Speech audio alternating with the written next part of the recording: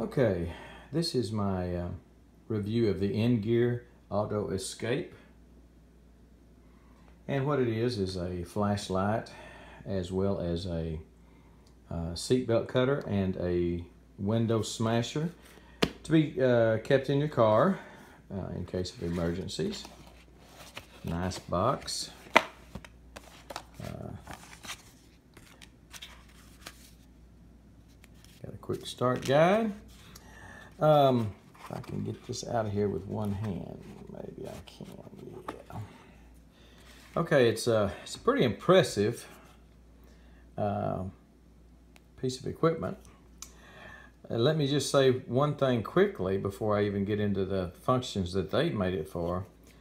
Um, there's a weapon in martial arts, I believe it's called a kubotan, and this is uh, very close to that as far as if you were carrying it and needed to defend yourself and wanted to come down on somebody's jaw with something like that, that would be of benefit to you. Good uh, handle to grip, I like that.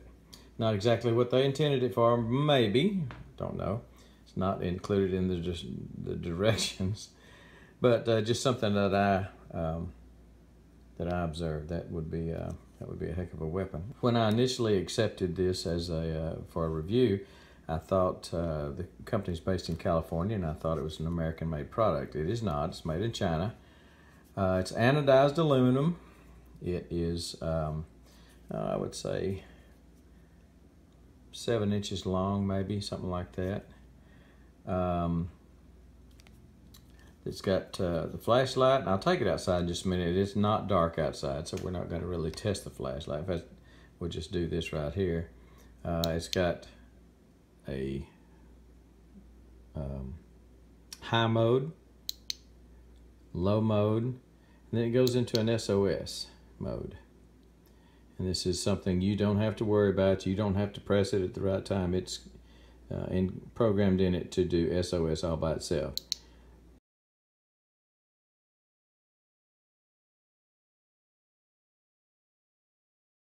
Punch it again, it goes off. Now at any point, you don't have to run all the way through it to uh, to turn it off. Some flashlights you do. You turn it on, you got to go through three or four more steps to turn the darn thing off. For this one, uh, you just hold it down for about a second, it turns off. I like that feature about it.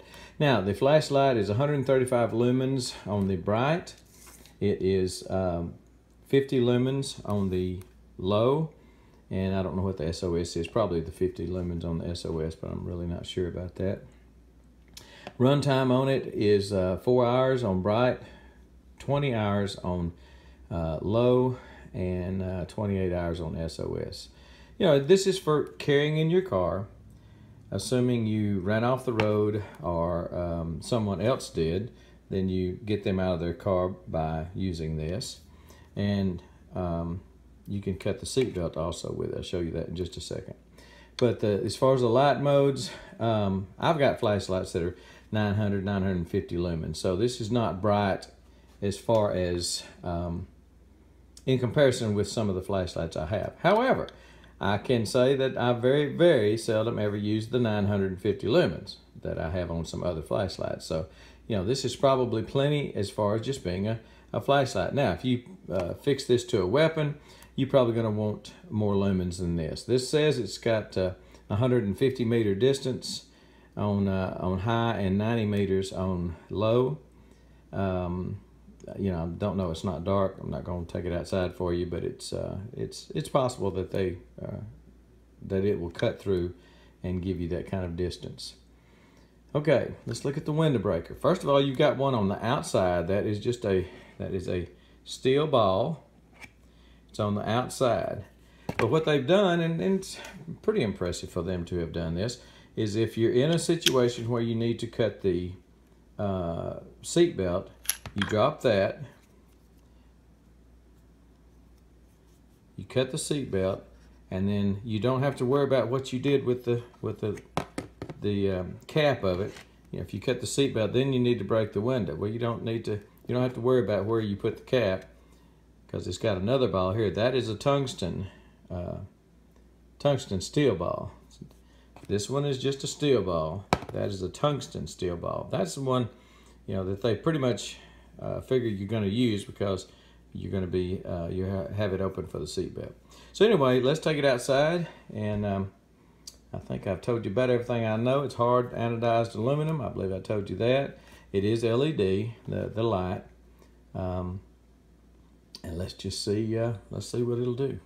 Before we go outside, let's look at this. This is a, a holder that they provide with it for this to snap into in your car.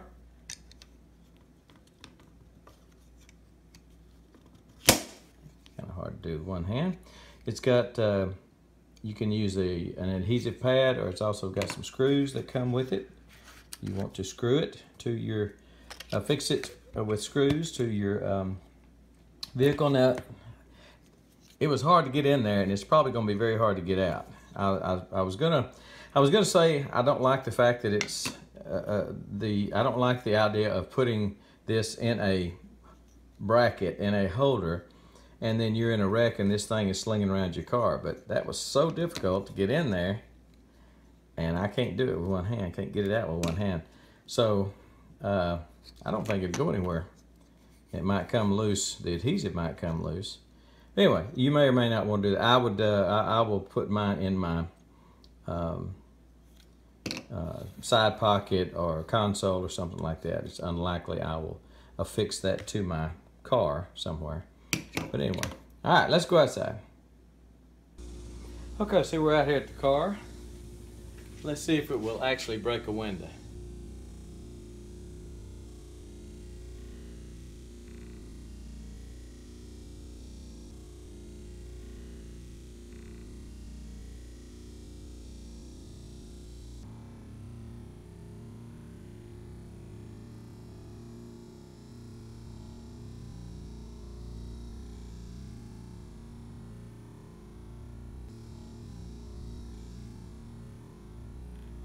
Okay, well, if you thought I was going to break my window for a YouTube view, you're sadly mistaken.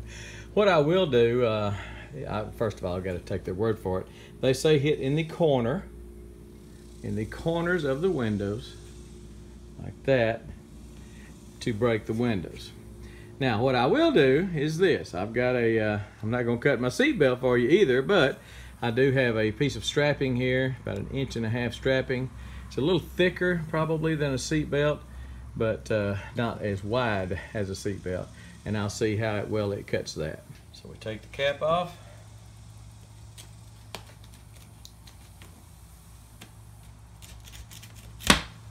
Yes, it cuts it.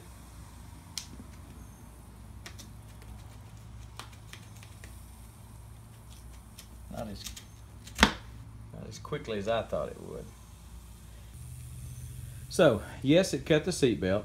Took a little doing to cut it. Uh, you know, I had to kind of saw at it a little bit more than I expected that I would. But there again, that wasn't a, a real seatbelt. It was um,